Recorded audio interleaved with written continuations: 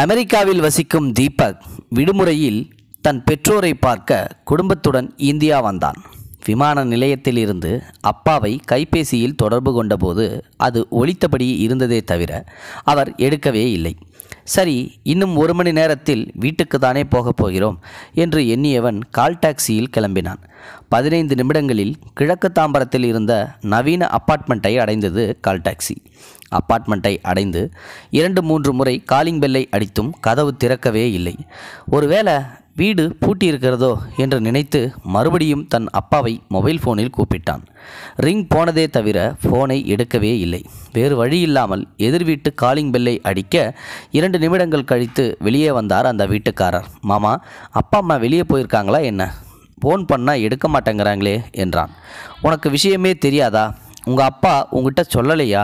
இல்லையே மாமா என்ன விஷயம்? உனக்கு தெரியாதது எனக்கு ஆச்சரியமாக இருக்குது உங்கள் அப்பாவும் அம்மாவும் முதியோர் இல்லத்தில் இருக்காங்க. யாராவது வந்தால் இந்த அட்ரஸை கொடுக்க சொல்லி கொடுத்துருக்காரு உங்கள் அப்பா. இரு எடுத்துட்டு வரேன் என்று சொல்லியபடியே உள்ளே சென்று எடுத்து வந்து கொடுத்தார். இவங்களுக்கு என்னாச்சு? எல்லா வசதிகளும் நிறைஞ்ச இந்த அப்பார்ட்மெண்ட்டில் இருக்காமல் ஏன் முதியோர் இல்லத்தில் போய் தங்கணும்? என்று குழம்பி போனான். தேங்க்ஸ் மாமா. நான் வரேன் என்று சொல்லி கிளம்பினான் தீபக். அதுவரை மொபைல் ஃபோனில் பேசிக்கொண்டிருந்த அவன் மனைவி பிரீத்தி என்னாச்சு தீபக்? என்று கேட்டாள். என்னத்தை சொல்ல? முதியோர் இல்லத்தில் போய் தங்கியிருக்காங்களாம் என்றான் கோபத்துடன். முதியோர் இல்லம்மா. ஏன் வீட்டை விட்டு? என்றால் ஆச்சரியத்துடன்.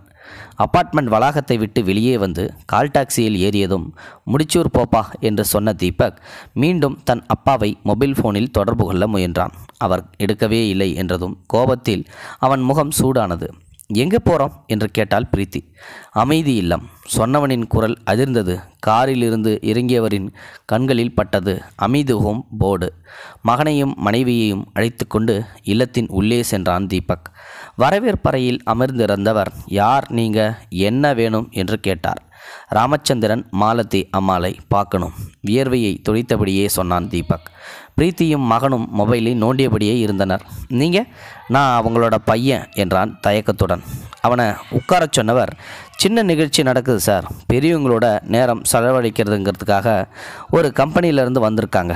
கொஞ்சம் வெயிட் செய்யுங்க என்று சொல்லி உள்ளே சென்றார். சிறிது நேரத்தில் மகிழ்ச்சியுடன் அங்கு வந்தனர் தீபக்கின் பெற்றோர். வெறுப்பு கோபம் இரண்டும் சேர்ந்து அவர்களை வெறித்தவன் என்னப்பா இதெல்லாம்? என்ன நினச்சிட்டு இருக்கீங்க இங்கே ஏன் வந்தீங்க என்றான். தீபக் சாப்பிட்ட உடனே மூச்சு வாங்குதுப்பா. இப்போ எல்லாம் ஒன்றும் முடியல என்றபடி அவனுக்கு அருகில் அவன் அம்மா அமர அம்மா முதல்ல இங்கேருந்து கிளம்புங்க. என்ன மடத்தன இது? என்று கர்ஜித்தான். அங்கு வந்த தீபக்கின் அப்பாவிடம் ஏன் மாமா உங்களுக்கு தானே எல்லா வசதியும் இருக்கிற மாதிரி அப்பார்ட்மெண்ட் வாங்கி கொடுத்துருக்குறோம். சொல்லாமல் கொள்ளாமல் நீங்கள் பாட்டுக்கு முதியோர் இல்லத்தில் வந்து தங்கிக்கிட்டீங்களே உங்கள் மகன் எவ்வளோ ஷாக் ஆகிட்டார் தெரியுமா? என்றால் தீபக்கின் மனைவி பிரீத்தி. என் மானத்தை வாங்கணும்னே இங்கே வந்து தங்கியிருக்கீங்க. ரிசப்ஷனில் இருந்தவர்கிட்ட நான் அவங்க பையன்னு சொல்கிறப்போ எப்படி கூனி குறுகி போயிட்டேன் தெரியுமா? உங்களுக்கு அப்பார்ட்மெண்ட்டில் வசதி குறைவுன்னா என்கிட்ட ஒரு வார்த்தை சொல்லியிருந்தா எவ்வளவு செலவானாலும் பரவாயில்லன்னு வேறு வசதியான பிளாட் வாங்கி அதில் உங்களை ராஜா மாதிரி தங்க வச்சிருக்க மாட்டேனா? என்றவன் அம்மாவை பார்த்து அப்பா தான் முடத்தனமாக ஏதாவது வந்து சொன்னாருன்னா உனக்கு எங்கம்மா மூளை வேணாமா? ச்சே எதிர் ஃப்ளாட்டில் குடியிருக்கிற மாமா உனக்கு விஷயமே தெரியாதான்னு கேட்டப்போ அந்த இடத்துல என்னால் நிற்கவே முடியல. உன் கோபம் புரியுதுப்பா. ஆனால் என்னப்பா ஆனால் கோபமாக ஆரம்பித்தவனை அமைதியாக இருக்கும்படி சைகையினால் கட்டளையிட்டவர். உங்ககிட்ட சொல்லாமல் நாங்கள் இந்த முடிவை எடுத்திருக்க கூடாது தான் ஆனால் முதல்ல ஒன்று புரிஞ்சுக்கோ. நாங்கள் இங்கே வந்தது மாற்ற முடியாத முடிவுன்னே சொல்லலாம் என்றதும் அதிர்ச்சியுடன் அப்பாவை பார்த்தான். ஆமாம் தீபக் உங்ககிட்ட முதல்ல ஏன் சொல்லலைன்னு கேட்டலையா சொன்னால் உனக்கு புரியாது ஒத்துக்க மாட்டேன் தர்க்கம் செய்வேன் நீ சொன்னியே அந்த அப்பார்ட்மெண்ட்டில் எங்களுக்கு என்ன குறைவுன்னு. வசதியில் எந்த குறையும் இல்லை. ஆனால் எங்களால் எதிர் வீட்டுக்காரரை கூட சந்தித்து பேச முடியாதுங்கிறதுனால தான் பெரிய குறை. மாதத்துக்கு ரெண்டு மூணு முறை ஹலோ சார் சௌக்கியமா? அவ்வளோதான் பேச்சு. எதிர் ஃப்ளாட்டர்காரர் தான் இப்படின்னா மற்ற ஃப்ளாட்டில் எல்லாரும் யார் இருக்காங்கன்னே தெரியாது. நாங்கள் கூட சில பேர் கூட பழக முயற்சி செஞ்சோம். ஆனால் எங்ககிட்ட யாருமே பேசுகிறதுக்கு முயற்சி செய்யவே இல்லை. நாள் முழுக்க நாங்கள் ரெண்டு பேரும் எங்களுக்குள்ளேயே என்னத்தப்பா பேசிக்கிறது? இங்கே ஏன் வந்தோன்னு கேட்டியே? இங்கே எல்லாரும் எங்கள் வயசுக்காரங்க? மனம் விட்டு பேசுகிறோம் சண்டை சச்சரவுகளும் வரத்தான் செய்யும். அதுவும் வாழ்க்கைக்கு தேவை தானே பேசி பழக மனுஷங்க இல்லாதது என்ன வாழ்க்கை? நீ வேலை கிடச்சிதுன்னு அமெரிக்கா போயிட்ட. உன்னை போகாதன்னு சொல்ல எங்களுக்கு உரிமை இருக்கான்னு தெரியல. ஏன்னா அது உன் விருப்பம் உன்னோட வாழ்க்கை.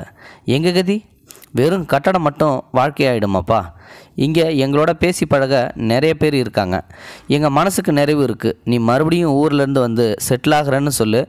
நம்ம எல்லாரும் ஒன்றா இருக்கிறதா இருந்தால் மறுபடியும் வீட்டுக்கு வர்றோம். அதுக்கு சாத்தியம் இல்லைன்னா நாங்கள் இங்கேயே இருந்துடுறோம்.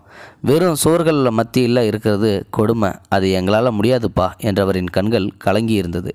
தீபக் இந்த முடிவை எடுத்ததில் எனக்கு தான் பெரிய பங்கு இருக்குது என்ற அம்மா இங்கே எல்லாரும் கிட்டத்தட்ட எங்கள் வயசுக்காரங்களால் தான் சிரித்து பேசி க கலகலன்னு பொழுதுபோக்குது செங்கல் சிமெண்ட்டு கதவு ஜன்னல் மாடலரு கிச்சனு ஏசி இதெல்லாம் மட்டும் வீடு இல்லைப்பா. வீடுன்னா அதில் மனுஷங்களும் இருக்கணும்.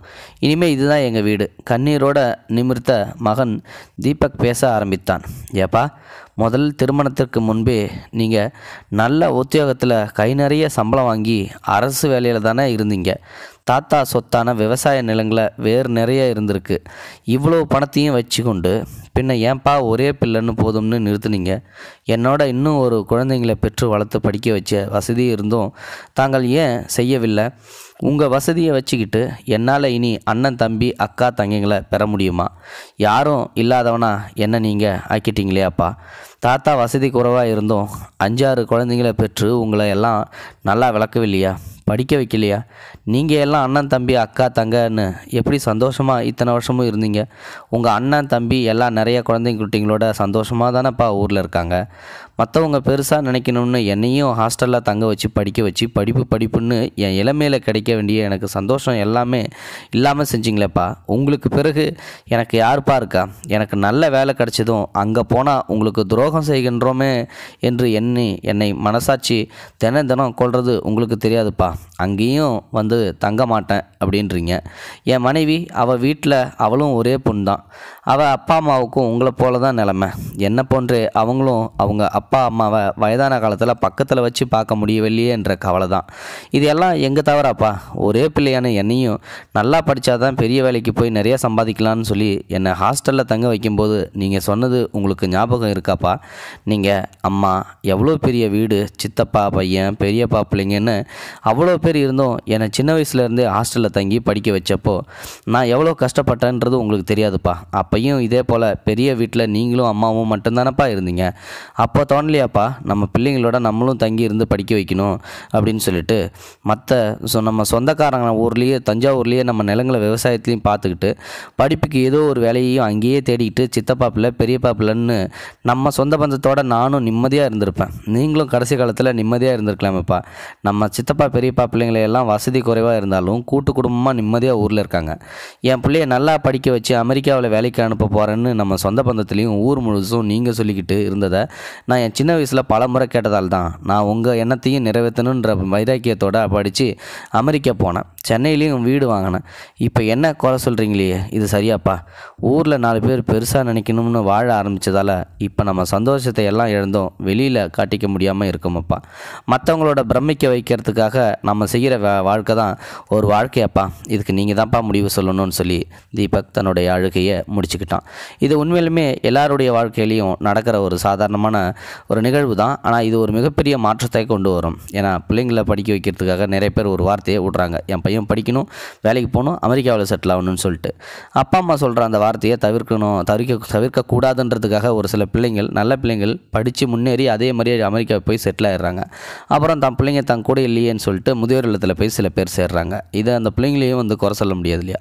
இதை பற்றி நீங்கள் நினைக்கிறீங்கன்றதான் மறக்காம கமெண்ட் பாக்ஸில் சொல்லுங்கள் நன்றி வணக்கம்.